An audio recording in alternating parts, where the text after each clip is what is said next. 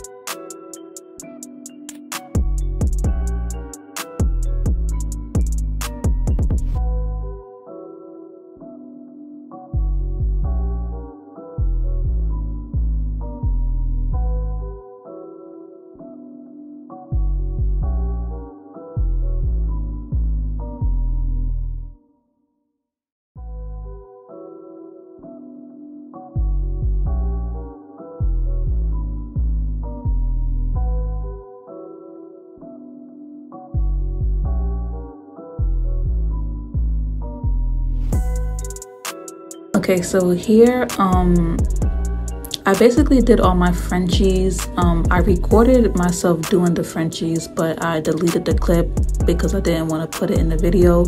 So I ended up drilling off all of the Frenchies off camera because I just didn't like how it came out. Um, typically when I do Frenchies or French um, tips, I like to do them on longer nails. So whenever I do them on short nails, it just always looks so like big and bulky for some reason. So, so the white Frenchie that I showed in the beginning of the clip, um, that one came out the prettiest. So basically I had drilled off all the other Frenchies and I kept that one um, white French tip that you guys just saw. And then I kept that one green one that you see right there. So basically I'm starting all the other nails all over again so they could look similar to the two Frenchies that I showed in the beginning of the clip. Um, so yeah.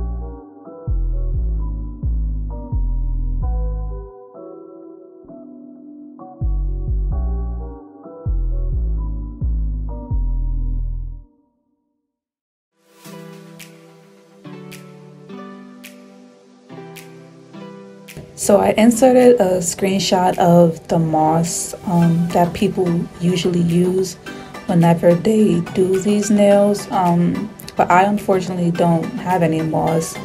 But I'm like, you know what? I have all of these uh, dried flowers that I don't use at all. Um, I rarely ever did any type of nail design that consists of dried flowers. So I really don't know why I have bought all of these a long time ago. But um, so yeah, I just had all of these just sitting there collecting dust. And I'm like, you know what? Since I don't have any moss and I really want to do these nails, I'm going to just use every single green dry flower that I have in these little boxes. so right now I'm just taking out all of the green flowers and we will be using that to make our moss garden nails. And some of the nails that you see me taking out that's not green, um, I was planning on using those just for like a type of like floral decoration, but I ended up not really using any of them. I think I only used probably like one or two of the flowers. Um, I think I used the blue one and then some of the pink ones. But yeah, um, I feel like if I would have added all of those extra flowers that I took out, it would have looked very like fairy garden garden-esque but um maybe next time. Um, i doubt i'll do these nails again but if i do then next time i'll use the other flowers